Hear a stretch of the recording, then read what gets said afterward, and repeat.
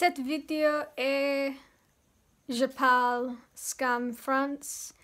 I hope that made some sense. Um, it's been two years of me studying French and I am still. One day.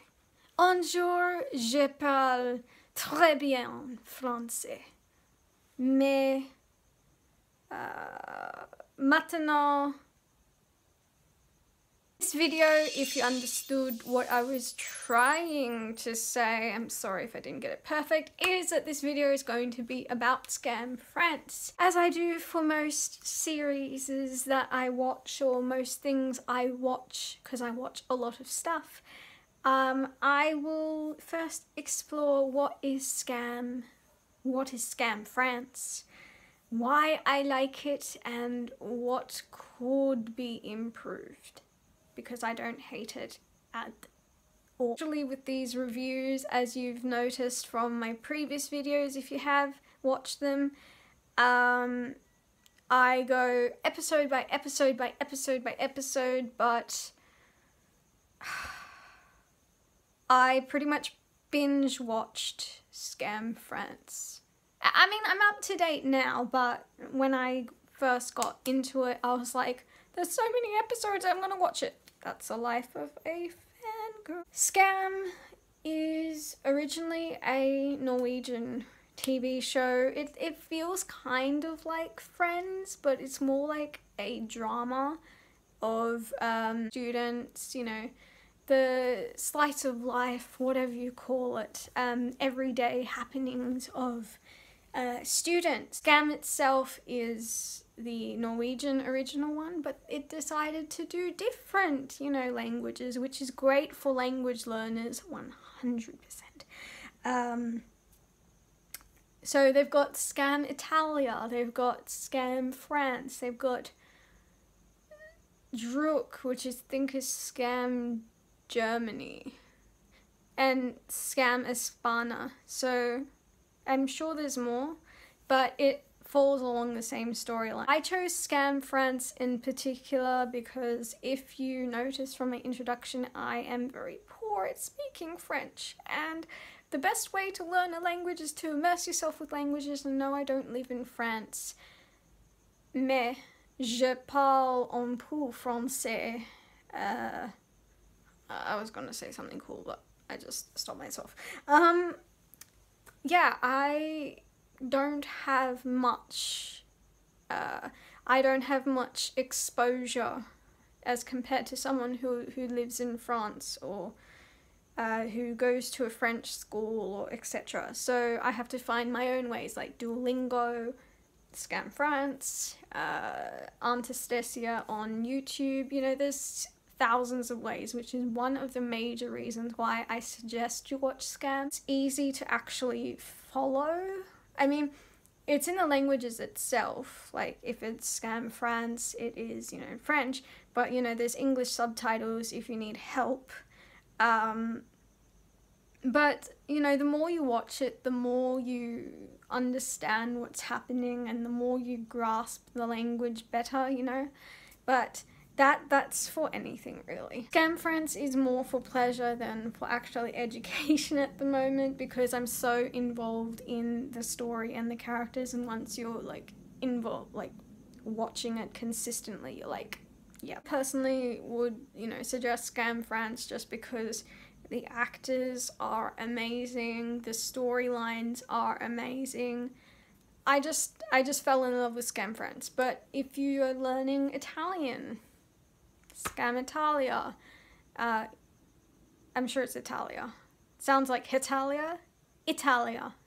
Italia! A big thing about SKAM as compared to, uh, I don't know, I'm just gonna say it's compared to other shows, um, because there is a group of students, you know, that they're basing it around. Um, each season is based around one particular student, so it's like a dip into their life and you know their interactions with other characters etc which which can be tedious but if you really are interested in the storyline like i'm for season three um, then it works would watch it from a particular season if you wanted to but honestly go from the beginning because you'll understand it a lot better. Learning languages is a big plus to this.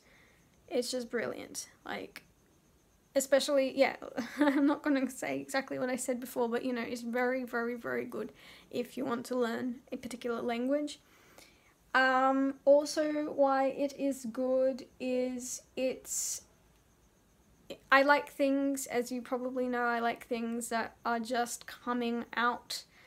Um, you know, haven't finished.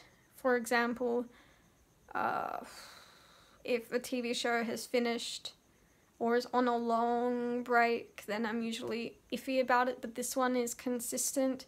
I mean, like I said, it's up to its third season, uh, episode 10, and you know, it's consistent. It's it's it comes out each week. There's more bias. You, you, I just fell in love with the story of SKAM France. I wouldn't call myself a francophile. I'm a Europhile. Um, but that's that's okay. There's one big if I'd like to point out, and this just came up very recently, like improvements, so to speak. Um, SKAM France, and I think the other ones as well, but you know, because I'm following SKAM France, SKAM France comes out um, yeah, every week. Promote it in an interesting way that they uh, have minor, I wouldn't say, I would say spoilers, because now I kind of know the spoilers, spoiler, um, of clips from the next episode. And I don't know how, I don't know if it worked in previous seasons, like season one and two, but especially in season three, I warn you that if you watch all the clips, especially if you watch them in order.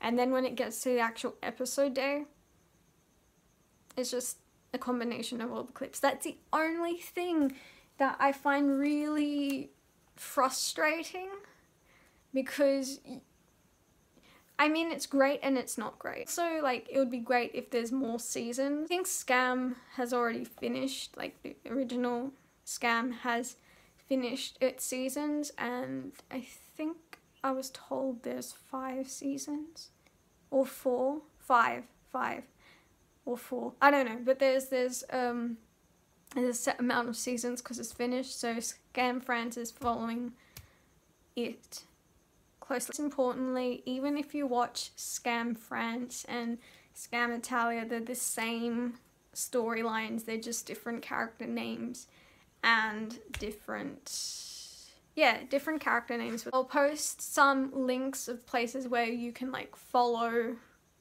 what's up with SKAM France, but give it a go and just try. Ciao for now.